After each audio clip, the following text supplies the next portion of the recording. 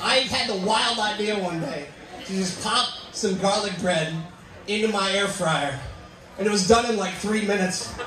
Perfectly crispy, like nice and chewy on the inside. I bit into it, I came immediately.